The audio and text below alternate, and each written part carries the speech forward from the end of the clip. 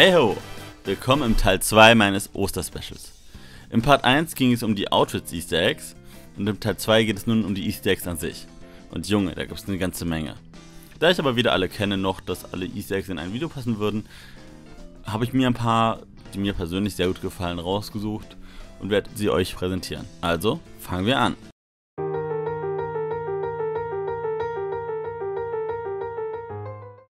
In mehreren Königreichen könnt ihr an den Wänden ein verstecktes Easter Egg finden. Und zwar Cat Mario und Cat Peach aus Super Mario 3D World für die Wii U. Passend hierzu gibt es eine weitere Wandspielerei, und zwar die 8-Bit-Fossile aus dem Kaskadenteich. Diese sind auf einigen der Felsen versteckt und erinnern an Marios Nintendo Entertainment System Wurzeln. Als Super Mario 64 für die Nintendo 64 rauskam, waren wir alle gespannt, wann wir Yoshi kriegen. Leider hat sich am Ende herausgestellt, dass Yoshi eher eine unbedeutende Rolle im Spiel hat. Und zwar, wenn man alle Sterne hat, konnte man auf dem Dach des Schlosses einen Yoshi finden und von ihm 99 Bonusleben erhalten. Nun, scheinbar wollten auch unsere Odyssey-Entwickler darauf anspielen und haben im Pilzkönigreich auf dem Schlossdach ebenfalls einen Yoshi positioniert. Gut, Bonusleben kriegen wir zwar nicht, aber wir können ihn kapern. Das hat auch was.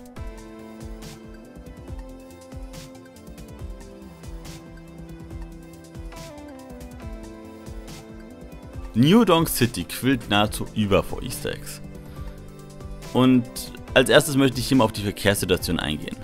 Und zwar die Straßen sind nach dem Donkey Clan benannt. Hier mal einige Beispiele.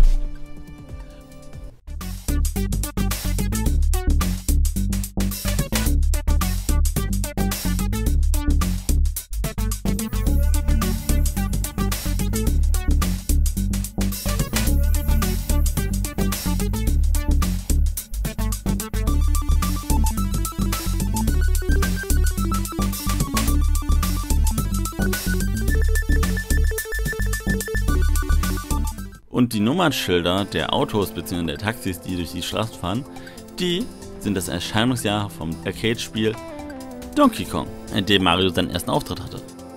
Der berühmte Captain Toad, den man in jeder Welt trifft, guckt auf eine ganz besondere Karte, und zwar auf die Map-Karte von Bob ums Bombenberg von Super Mario 64. Ein schönes, nettes Detail. Captain Toad hatte ja seinen ersten Auftritt als spielbarer Charakter im wunderbaren Spiel Super Mario 3D World. Und ein tolles Easter Egg ist genau zu diesem Spiel im Pilzkönigreich vorhanden. Und zwar gibt es einen Baum mit einem Tanuki-Schwanz. Wenn man eine gewisse Zeit nicht reagiert, wird sich Mario hinlegen und einschlafen. Dabei zählt er Pasta-Gerichte auf. Dies ist ein Easter Egg auf Super Mario 64. Die Pilze aus dem Pilzkönigreich basieren auf einem Spielzeug aus Nintendogs plus Cats, welches wiederum auf den Super Mushroom Kingdom aus dem ersten Super Mario Bros. basiert. Und damit meine ich jetzt nicht nur das Design, sondern auch der Sound und die Physik sind auf Nintendogs plus Cats. Wo wir gerade bei Nintendogs sind, ihr habt sicher bemerkt, dass ihr den Odyssey-Welten ab und zu einen Hund findet und mit ihm spielen könnt. Dies ist eine Anspielung auf Nintendogs Shiba Inu, Mario Odyssey ist sehr detailverliebt. Dies merkt man sogar an einem kleinen Easter Egg, das die Animation bildet, die Mario ausführt, wenn er einen Mond erhält. Die Geste kann sehr unterschiedlich sein. Es ist relativ zufallsbasierend, aber er führt eine Geste aus einem anderen Spiel aus. Zum Beispiel führt er das Peace-Zeichen aus Super Mario 64 oder die Open Palm Hand Geste aus Super Mario Sunshine oder den Air Punch aus Super Mario Galaxy aus.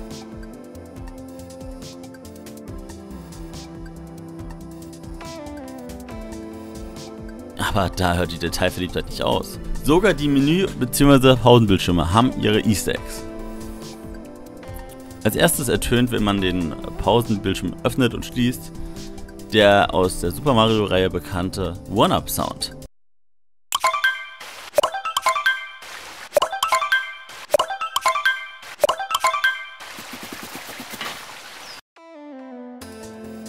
Dann kann man durch die richtige Reihenfolge auch noch Rosalinas Observatoriumsmelodie nachmachen.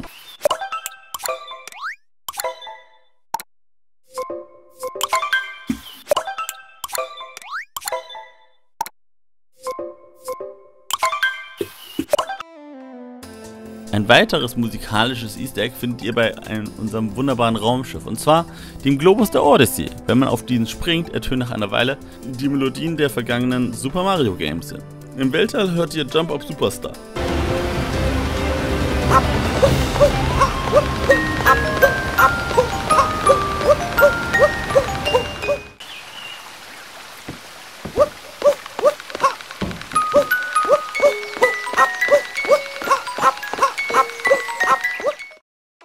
Wir waren ja eben bei Rosalinas Melodien. Gut, Rosalina kennen wir alle durch Super Mario Galaxy und Super Mario Galaxy 2.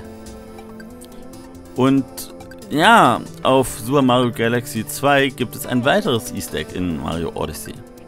Und zwar könnt ihr die Odyssey, also das Raumschiff, durch drei Eingänge betreten. Durch die Tür, die normale Leute, durch die Klappe auf dem Dach, wie ich zum Beispiel, oder durch das Easter Egg, und zwar den Auspuff. Tatsächlich könnt ihr in Super Mario Galaxy 2 das Raumschiff auch durch den Schornstein betreten. Ein nettes Detail.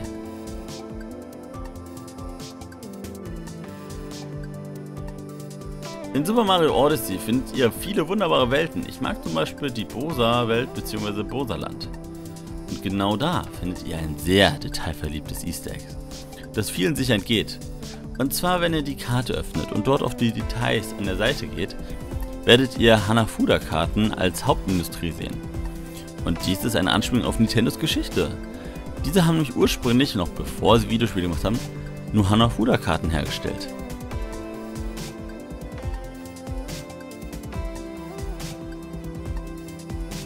Super Mario Odyssey liebt ja Musik-Easter Eggs. Eins findet ihr zum Beispiel, wenn ihr die Radios abwirft. Man kriegt dann den Song Jump Up Superstar oder das Ending-Lied von Super Mario Odyssey auf Japanisch zu hören.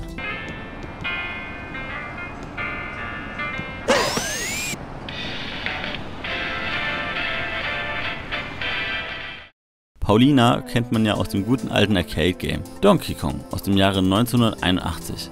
Daran scheint sich sogar die junge Dame zu erinnern. Immerhin kann man in Paulinas Quiz die Frage bekommen, mit welchem Tier ich in der Vergangenheit zu tun hatte. Gorillas, also Donkey Kong.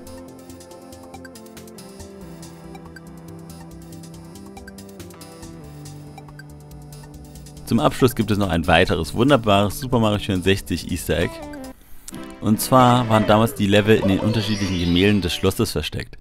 Weshalb es mich umso mehr freut, dass genau dieses Detail auch in Super Mario Odyssey im Pilzkönigreich zu finden ist. Das nenne ich Detailtreue. Die haben sogar einen ähnlichen Soundeffekt.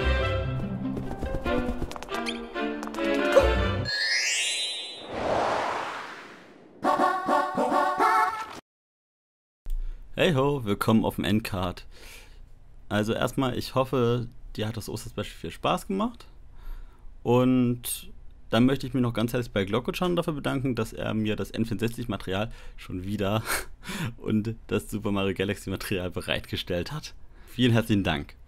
Hier kommt jetzt zum Teil 1 des Osterspecials und da kommt jetzt meine letzte Review. Und nächste Woche gibt es wieder eine neue Review. Tschüss.